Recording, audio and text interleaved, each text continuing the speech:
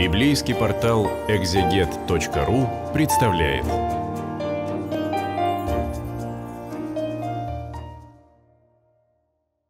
Библейский портал экзегет.ру представляет цикл бесед о Евангелии от Матфея. Сегодня мы с вами читаем 23 главу. Тогда Иисус начал говорить народу и ученикам своим, и сказал, «На Моисеевом седалище сели книжники и фарисеи. Итак, все, что они велят вам соблюдать, соблюдайте и делайте. По делам же их не поступайте, ибо они говорят и не делают». Эта глава большей частью посвящена обличению книжников и фарисеев. И кто это такие вообще, что это за люди? Фарисеи — это наиболее религиозно живая часть Божьего народа. Это люди, которые посвятили себя тщательному изучению закона Божия и тому, как а, а, следовать ему а, как можно более тщательно, как можно более старательно. Книжники — это знатоки священного писания. Это люди, которые все знают Библию, знают толкование — то есть люди, которые глубочайшим образом погружены в Слово Божие, и кажется, что это самые хорошие люди должны быть. Кажется, что это люди наиболее религиозные, которые вообще есть в наличии. И Господь говорит, на, э, на Моисеевом седалище сели книжники и фарисеи. Что это значит? То есть на троне Моисея. А Моисей — это ветхозаветный пророк, это человек, через которого был дарован закон Божий — а, человек глубоко почитаемый, и они учат закону, как бы учат вместо Моисея. Моисей умер уже, но на его место заступили другие люди, которые учат закону. Все, что они велят вам соблюдать, соблюдайте и делайте. Эти люди, а, несмотря на то, что они лично недостойные люди, они являются передатчиками закона — то есть они передают народу Божий закон, но они люди недостойные лично. И вот э, мы видим здесь определенное разграничение, что даже через недостойного человека может возвещаться закон. Однако Господь говорит, по делам же их не поступайте, ибо они говорят и не делают. То есть формально передавая закон, они не живут по закону и какие им предъявляются упреки. Связывают бремена тяжелые и неудобоносимые, возлагают на плечи людям, а сами не хотят и перстом двинуть их. Речь идет о, о чрезмерно тяжелых и необоснованных требованиях, которые религиозные люди возлагают на а, паству, в данном случае на тех, у кого они пользуются авторитетом. Это явление, которое постоянно возникает в истории религии, и это связано с человеческой тягой к власти.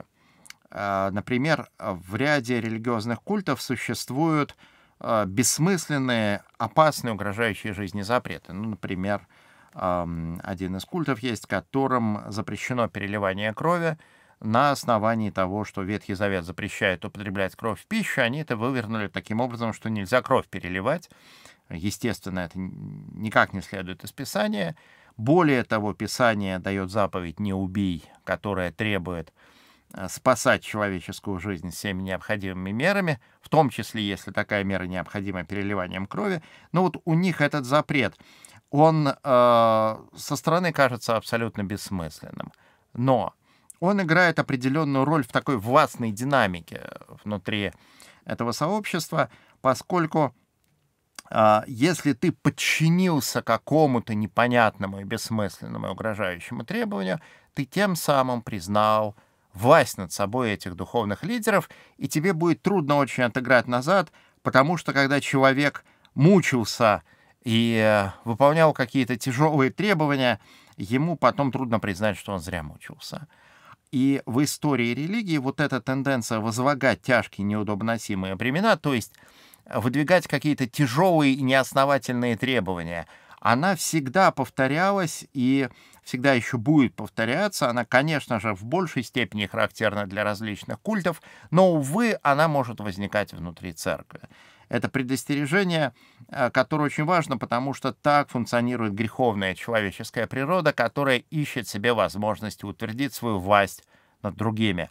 И одно из проявлений этой власти — это возложение тяжких, неудобносимых бремен. То есть я вас всех построю, я вас всех заставлю делать то, что я вам прикажу.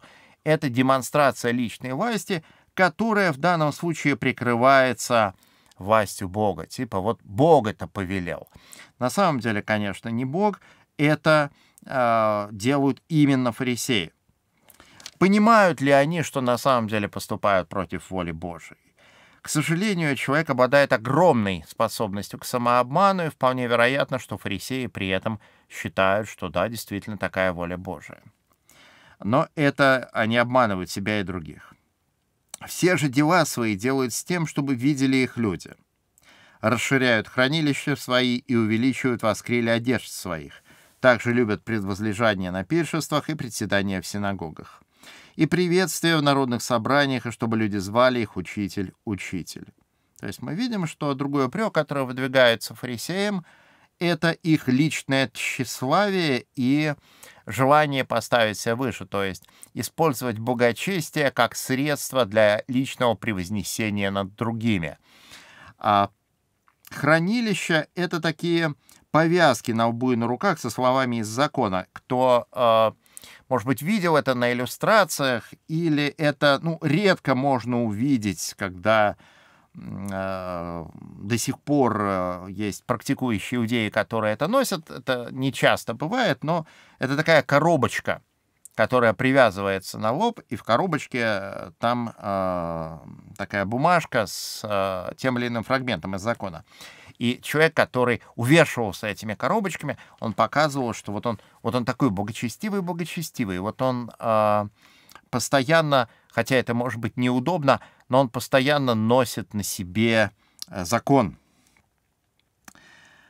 Также любят превозлежание на пиршествах и приседания в синагогах, то есть любят занимать первые места и приветствия в народных собраниях, чтобы люди звали их «учитель, учитель».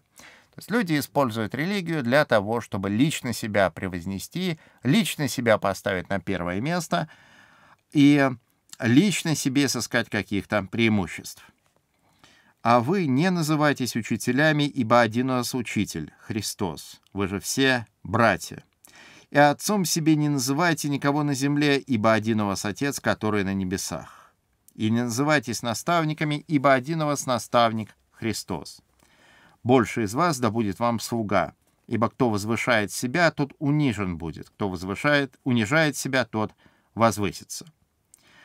И э, человек не должен называть себя учителем или отцом, э, не называйтесь наставниками и так далее.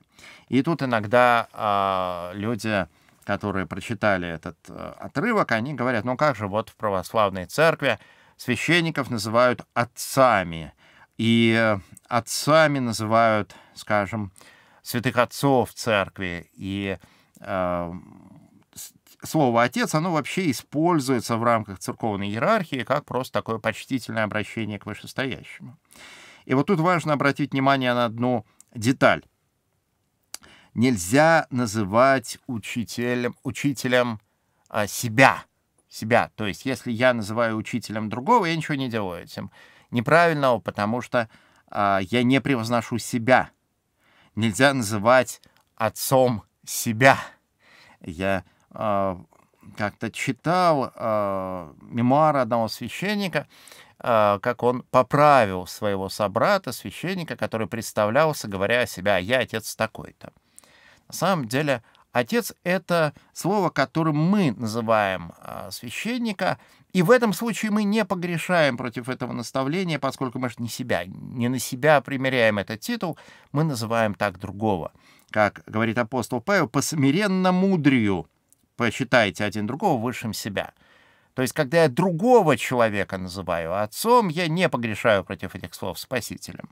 Вот если бы я себя стал называть отцом, вот я там отец, вы меня почитаете, то, конечно, это было бы э, неправильно с точки зрения этой э, заповеди.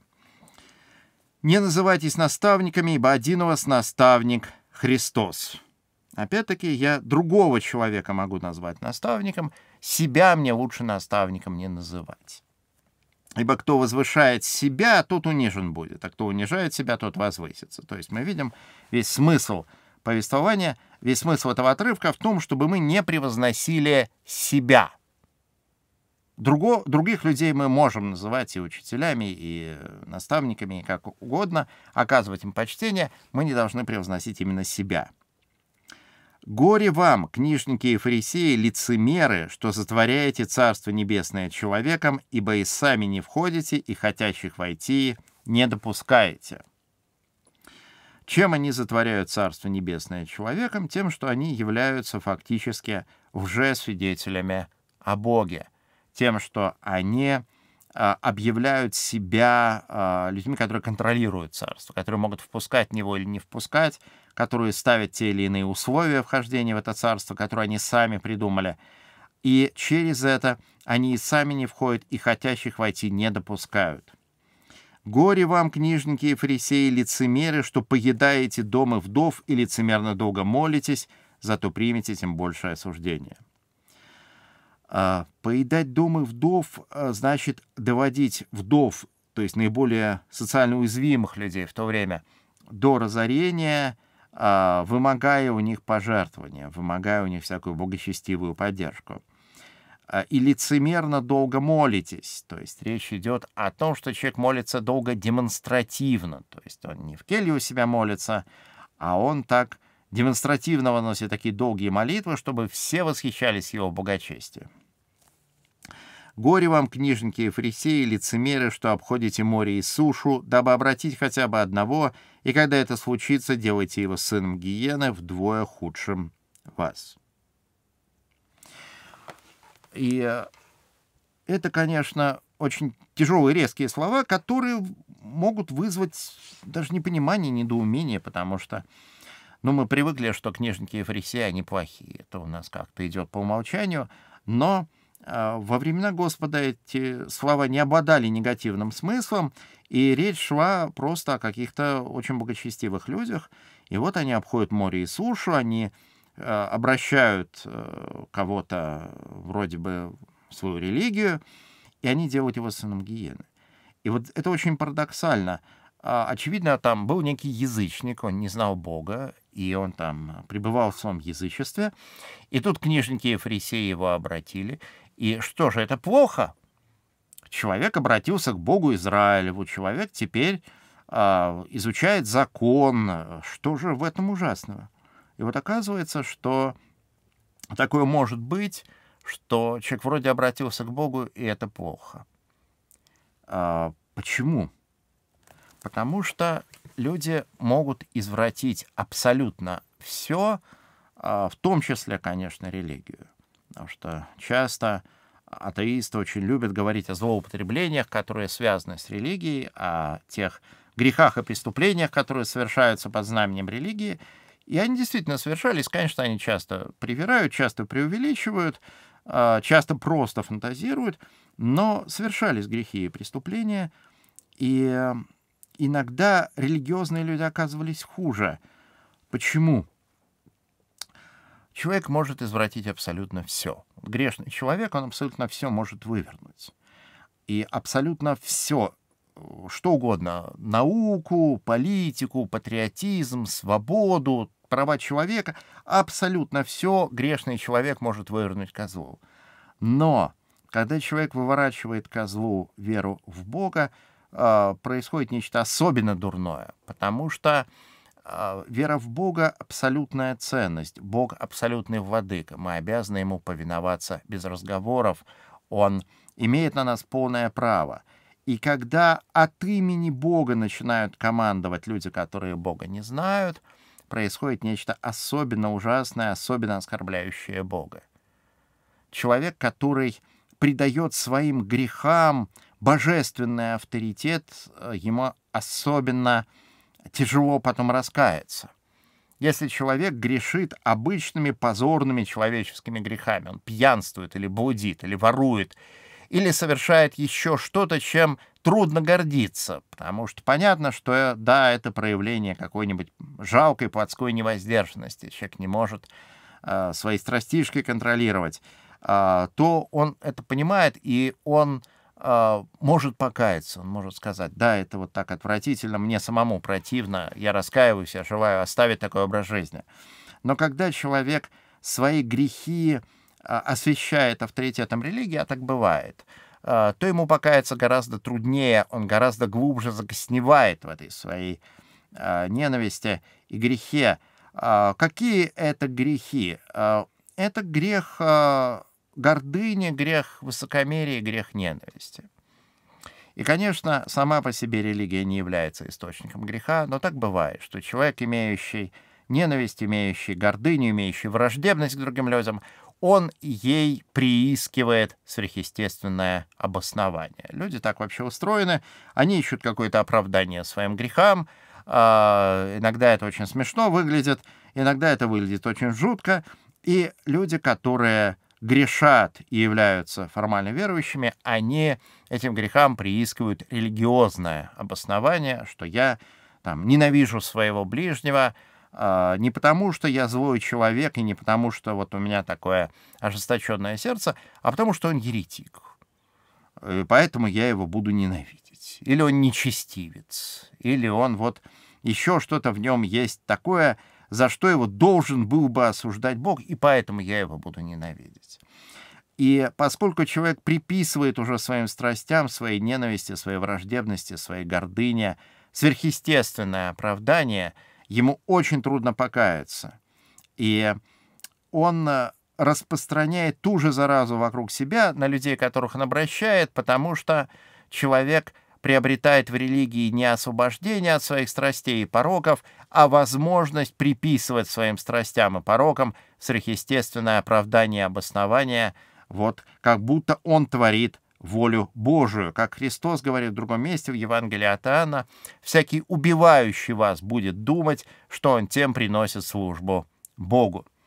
И это бывало во времена фарисеев, это было во времена Господа, это есть сейчас э, во многих религиях, и, увы, это может возникать в церкви, поскольку такова человеческая природа.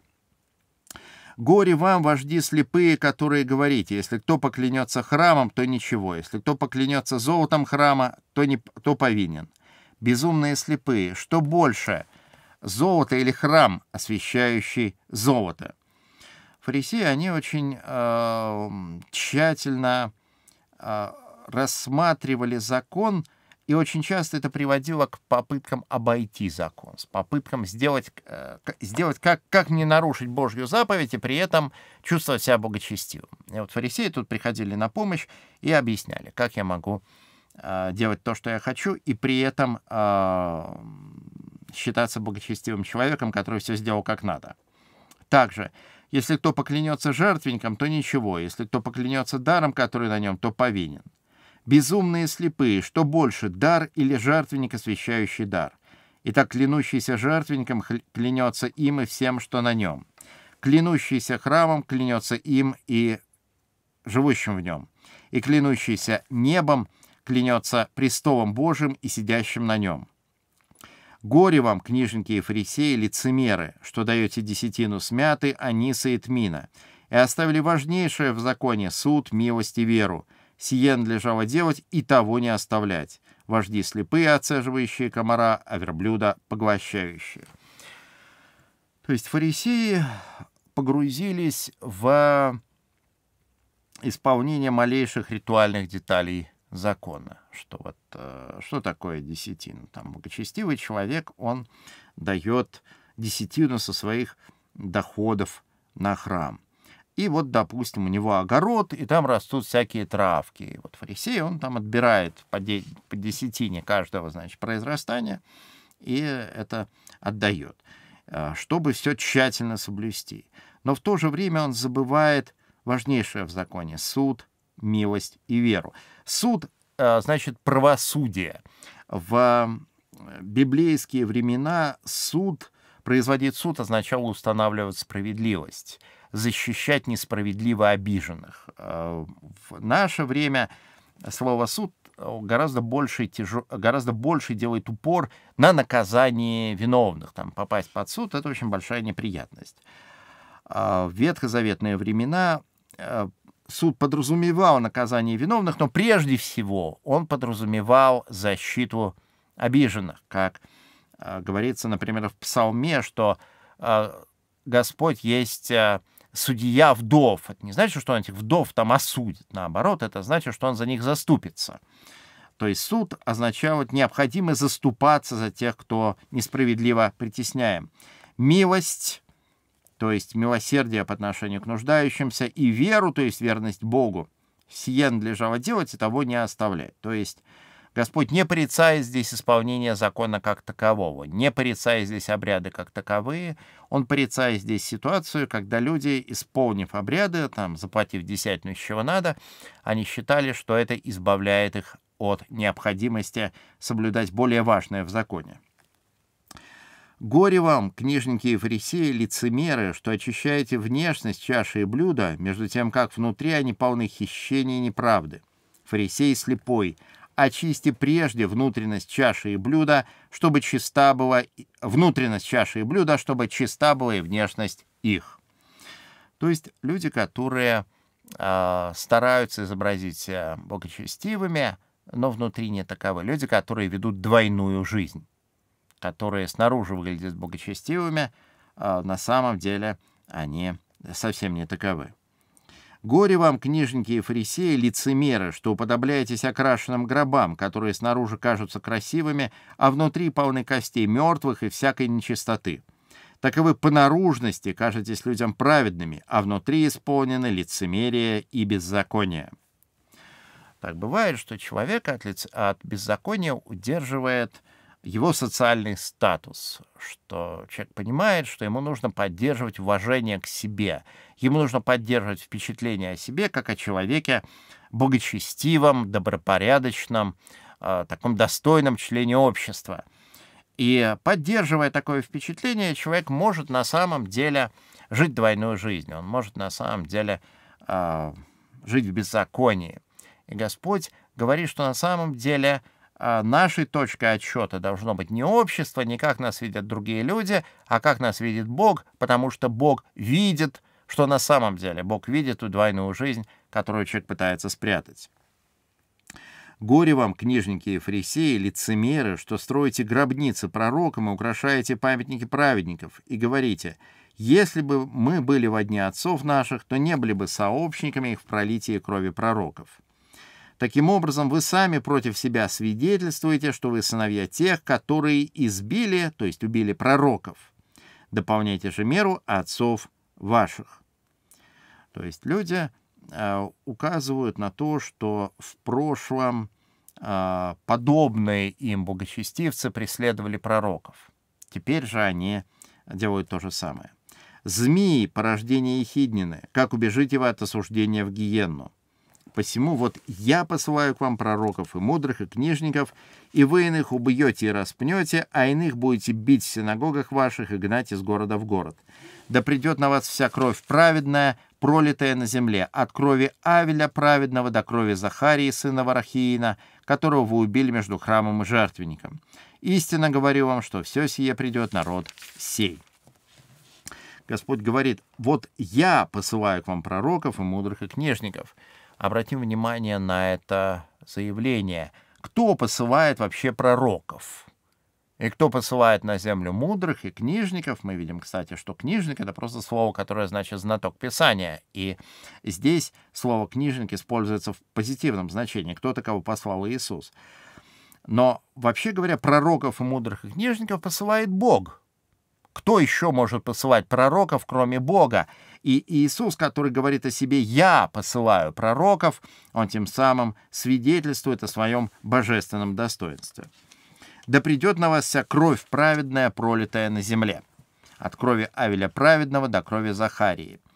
А в Библии есть такое представление о мере беззакония, что какое-то сообщество, какие-то люди, например, жители Содома или Хананеи, они грешат, грешат, грешат, и вроде бы ничего не происходит, и вроде бы никакое не приходит на них а, осуждение, но а, мера наполняется и переполняется. Когда она переполняется, то приходит гнев Божий, и все придет народ сей, все придет на это поколение. То есть зло, накопившееся в Божьем народе, оно придет на это поколение, которое распнет Иисуса. Ну, действительно, а, происходит потом разрушение Иерусалима, а, и бедствия действительно постигают народ Божий. И далее Господь говорит, «Иерусалим, Иерусалим, избивающий пророков и камнями побивающий посланных к тебе. Сколько раз я хотел собрать детей твоих, как птица собирает птенцов своих под крылья, но вы не захотели. Все оставляется дом ваш пуст, ибо сказываю вам, не увидите меня отныне, доколе не воскликнете, благословен гряды во имя Господня. Господь говорит о Иерусалиме. Сколько раз я хотел собрать детей твоих, как птица собирает птенцов своих под крылья, но вы не захотели. Мы видим, что Бог хочет спасения всем, Он также хочет спасения жителям Иерусалима и даже фарисеям, но Беда в том, что они не захотели. Причина человеческой гибели — это всегда исключительно его упорство. Бог хочет спасти всегда и всех. Но человек может упереться, человек может отказаться. «Все оставляется дом ваш пуст, ибо сказываю вам, не увидите меня отныне, доколе не воскликнете, благословен гряды во имя Господне». То есть не, пока не обратите к, а, обратитесь к Иисусу с приветствием, которое означает приветствие Мессии. Гряды во имя Господне — это Мессия, это предсказанный пророками Спаситель народа. А, мы с вами прочитали 23 главу Евангелия от Матфея. Мы читаем Писание в рамках библейского портала «Экзегет.ру».